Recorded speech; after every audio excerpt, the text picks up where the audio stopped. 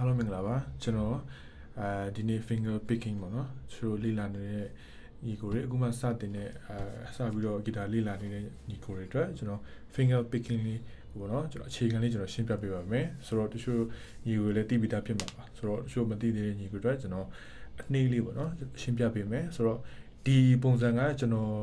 ဟိုးရင်တော့ဂီတာစလေ့လာခဲ့တော့ကတီးခဲ့တဲ့ပုံစံလေးပေါ့နော်ဆိုတော့ အဲ့ဒီတိုင်းပဲဒီကညီကိုတွေကိုကျွန်တော်ရှင်းပြပေးပါမယ်ဆိုတော့ကျွန်တော်ဘယ်လိုမျိုးစပြီးတော့အဲ plugin တွေကိုစပြီးတော့တီးလဲဆိုတော့ဗောနော်ဆိုတော့ကျွန်တော်တို့အဲပြီးခဲ့တဲ့ခေါက်တော့ကျွန်တော်အဲ C family ဗောနော် C family call တွေကျွန်တော်တင်ပေးရဲဆိုတော့ရိုးရိုးကျွန်တော်တို့ C ကိုပဲကျွန်တော်ကင်ထားမယ်ကင်ထားမယ်ဗောနော်ဆိုတော့အရင်ဆုံးမတီးခင်မှာအဲဟောဗောနော်သူ့ရဲ့လက်အနေထားဗောနော်ဆိုတော့လက်မကဂီတာက6ကြိုးရှိတယ်ဆိုတော့အပေါ်3ကြိုးအပေါ်3ကြိုးအောက်3ကြိုးဗောနော်ဆိုတော့အဲ့3ခုကျွန်တော်ခွဲလိုက်မယ်နော် အပေါ်ဒီ base base ဂျိုက3ခုเนาะအဲ့3ခုကိုကျွန်တော်လက်မနဲ့ပဲကျွန်တော်လက်မတာဝန်ယူထားမယ်ဆိုတော့ကျန်တဲ့အောက်ကအဲ3ခုပေါ့เนาะအဲ့ဂျိုးဂျိုး3ချောင်းကိုကျန်တဲ့အောက်ကဂျိုး3ချောင်းကိုကျွန်တော်တို့ဒီလက်ညိုလက်ညိုကကြဘယ်ဟာတာဝန်ယူမလဲဆိုတော့3ဂျိုးတာဝန်ယူမယ်เนาะနံပါတ်3ကျွန်တော်အနည်းကလေးပြပေးမယ်เนาะဒီနော်လက်ညိုက3ဂျိုးလက်ကလေးက2ဂျိုးလက်တကြွယ်1ဂျိုးเนาะဒီလက်မက ဒီဒီဘော baseline ကိုတောင်းယူမယ်ဆိုတော့လက်မှတ်ကကျွန်တော်တို့ဂီတာလက်ကပ်ပုံမှာမူတည်ပြီးတော့ဂီတာလက်ကပ် C ဆိုလို့ရှိရင်5ကြိုးမှရှိမယ် G ဆိုလို့ရှိရင်6ကြိုးမှရှိမယ်ဆိုတော့เนาะ D minor ဆိုလို့ရှိရင် D minor D minor ဆိုလို့ရှိရင်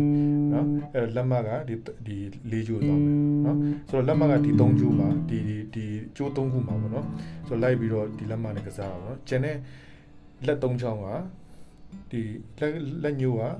3ကြိုးမှာလက်ကလေးက2ကြိုးမှာလက်တကြွယ်က1ကြိုးမှာဆိုတော့အတီးတီးမှာပေါ့နော်သူတို့အဲသူ့ရဲ့ finger picking ကသူ့သူ့ရဲ့လက်လက်ချောင်းနေရာနဲ့မူတည်ပြီးတော့တာဝန်ယူထားတာဖြစ်တယ်ပေါ့နော်ဆိုတော့ဆိုတော့ C ကိုကျွန်တော်ဘယ်လိုတီးမလဲဆိုတော့နော်9 3နဲ့1နော်ကျွန်တော်ပြန်တီးမယ်နော်9 3နဲ့1နော်အဲ့တော့ C ကိုကျွန်တော်တီးမယ်နော်အဲ့တော့9 3နဲ့ တင်နေမယ်ဟုတ်ပြီနော်ပြီးလို့ရှိရင် G သွားမယ် G G ကြလို့လက်မက6ကျိုးပြောင်းသွားပြီအဲ့တော့ G ကဒီ roof note ကဒီအပေါ်မှာဆိုတော့ဒီ6ကျိုးပေါ်မှာဆိုတော့ကျွန်တော်တို့ဟိုပါလဲဒီဒီလက်မကဒီအပေါ်ဘယ်ဘက်လက်ကနှိပ်တဲ့ပုံမှာမူတည်ပြီးတော့လက်မရဲ့ base အကုန်သွားမယ်နော်ဆိုတော့ပြန်ကြည့်မယ် G G ကကြတော့6 3 1ဖြည်းဖြည်းချင်းနေနော်6 ကယ်လစီကိုပြန်သွားမယ်9 3 2 1ပြီးလို့ရှိရင်6 3 2 1ဟုတ်ပြီနော်ကျွန်တော်အဲ့လိုပဲကျွန်တော်တို့ဖြည်းဖြည်းချင်းနေအဲကျွန်တော်တို့ကင်တက်တဲ့လက်ကွက်ကလေးမှာမူတည်ပြီးတော့ကျွန်တော်တို့ call လေးတစ်ခုတစ်ခုတစ်ခုပြောင်းသွားမယ်ပေါ့နော်ဆိုတော့ picking ကတော့ဒီတိုင်းပဲဒီအောက်က3ဒီဒီအောက်က3ချောင်းကတော့မချိန်ဘူးဒီအပေါ်လက်မပဲကျွန်တော်ချိန်သွားတာလက်မကဒီလက်အပေါ်ဒီဘယ်ဘက်လက်ကလက်ကပ်ပေါ်မှာမူတည်ပြီးတော့လက်မပြောင်းလဲသွားတာဖြစ်တယ်ပေါ့နော်ဆိုတော့ ဆိုတော့အဲကျွန်တော်နောက်တဲ့တစ်ဆင့်ပေါ့နော်နောက်တဲ့ဒါ exercise 1ပြီးတော့နောက်တစ်ခုကကြာဘယ်လိုဘယ်လိုဘယ်လို pattern လေးလာမလဲဆိုတော့နောက်တစ်ခုပါပေါ့နော်အဲ့တော့ဒီအပေါ်အောက်ကဒီ3ချိုးဒီဒီဒီ3ချောင်းကိုနှစ်ခေါက်ကုန်မယ်နော်ဆိုတော့ကျွန်တော်ပြပြမယ်5 3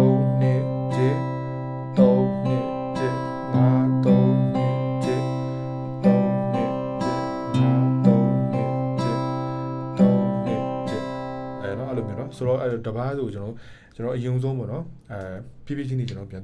ပြန်ပြပေးမယ်နော်9 3 2 7 3 2 7နော်အဲ့လိုမျိုးနော်ပြန်တော့ရ9 3 2 7 3 2 7 5 3 2 7 5 3 2 7ဘယ်နော်အဲ့ဒါ C နော် C G ဆိုလဲအဲ့လိုပဲဒီ6ကျလက်မ6ကျသွားမယ်6 3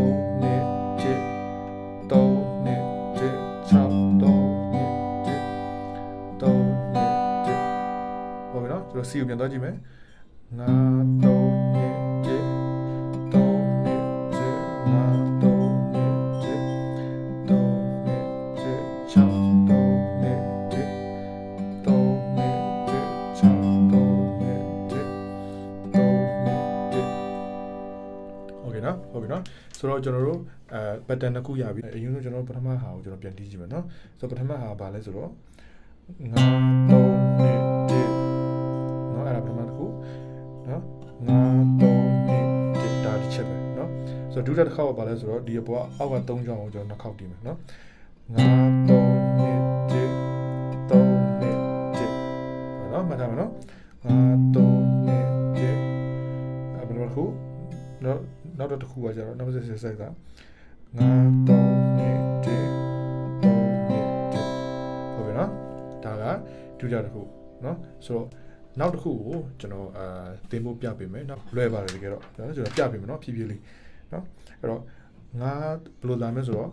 ကြည့်နော် C ပဲကင်ထားတယ်နော် C ပဲကင်ထားတယ်ငါ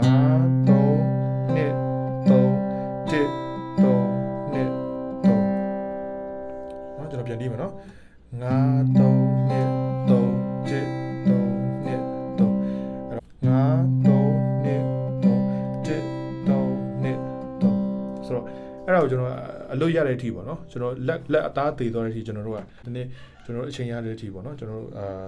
တီးမယ်ပေါ့နော်ဆိုတော့ဒါကိုကျွန်တော်ကျွန်တော် practice လုပ်မယ်ငါ3နဲ့3 1 3နဲ့3 5 3နဲ့3 1 3နဲ့3အဲ့ဒါလည်းပဲနော်ဆိုတော့အဲ့ဒါပဲတီးကြည့်မယ်နော်ငါ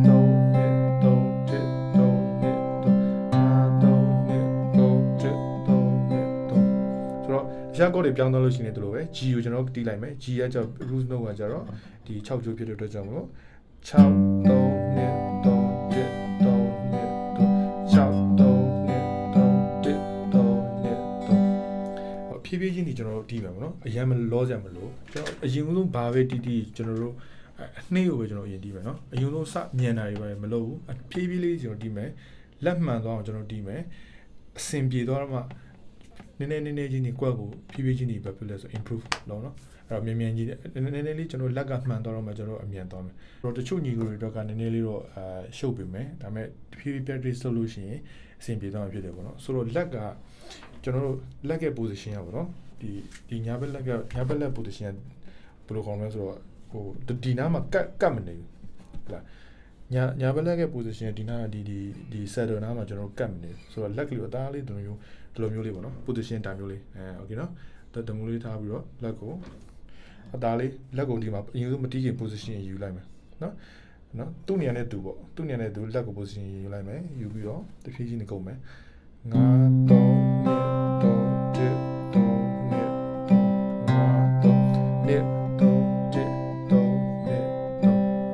ဒါကိုတနေ့တနေ့ကျွန်တော်တို့ထိုင်ကြည့်နေပဲဟုတ်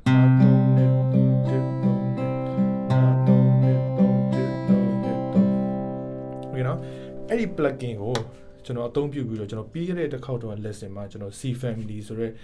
ဘောနော်ဒီဒီဟိုဘော C family different way of playing the C chord ဆိုပြီးတော့အဲ့ဒါအဲ့ဒီ chord တွေကိုကျွန်တော်အသုံးချအသုံးချပြီးတော့ကျွန်တော် plugin လေးကုတ်ပြမယ်နော်ဆိုတော့အဲ့ဒါလေးကကျွန်တော်ပြီးခဲ့တဲ့အဲ့ဒီတစ်ခေါက်တော့ကျွန်တော်ရှင်းပြပေးတဲ့ video မှာရှိရပါတော့နော်နားထောင်ကြည့်နော်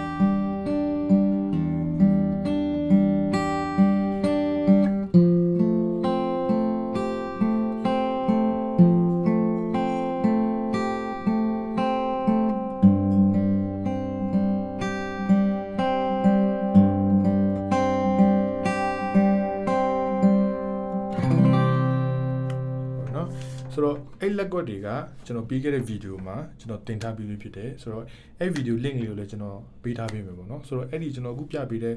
black လေးတွေကိုအဲအသုံးချပြီးတော့ကျွန်တော်တို့ပြီးခဲ့တဲ့ဗီဒီယိုကတီးတဲ့လက်ကွက်တွေမှာကျွန်တော်ပြန်သုံးချလို့ရတယ်ခုနကကျွန်တော်တီးသွားတာကဒီအောက်ကသုံးချိုးကမပြောင်းဒီအပေါ် base line ကဒီအပေါ်လက်ဘယ်ဘက်ကကောက်ပုံမှာမူတည်ပြီးတော့ဒီ base line တွေကပြောင်းပြောင်းသွားတာဘာလို့ဆို F ဆိုလို့ရှိရင်လေးချိုးသွားမယ်နော်လေးချိုးမှာဆိုတော့ အဲအဲ G ဆိုလို့ရှိရင်6ကျိုးပါเนาะ C ဆိုလို့ရှိရင်5ကျိုးပါဆိုတော့အလားတူပဲအဲ့လိုပဲအဲ့တော့ဘေးနဲ့ဘယ်ဘက်လက်ကပြောင်းလို့ဘယ်ဘက်လက်ကကော့ပြောင်းတဲ့အတိုင်းပဲဒီလက်မအကုန်လုံးဒီ၃ကျိုးမှာလိုက်ပြီးကစားသွားမှာเนาะဒီအောက်ကအောက်ကဒီ၃ခုအတူတူပဲဖြစ်တယ်ပေါ့เนาะဆိုတော့အဲ့ဒါလေးကျွန်တော်တီးထားပါ ဆိုတော့အားလုံးရမျိုးကျွန်တော်မျှော်လင့်တယ်ပေါ့နော်အဲ့တော့မသိတာရှိလို့ရှိရင်လည်းကျွန်တော်ကိုအာ comment မှာရေးလို့ရပါတယ်ဆိုတော့အဲအထူးသဖြင့်ပေါ့နော်နောက်တစ်ခုကကျတော့ဗာလဲဆိုတော့ကျွန်တော်ရဲ့ YouTube channel ကို subscribe လုပ်ထားပေးပါ ပြီးရင် like button ကိုလည်းနှိပ်ထားပေးပါเนาะဆိုတော့နောက်တစ်ဗီဒီယိုတစ်ခုမှာကျွန်တော်နောက်တစ်ခုအသစ်ပြန်တင်ပေးမယ်ပေါ့နော် thank you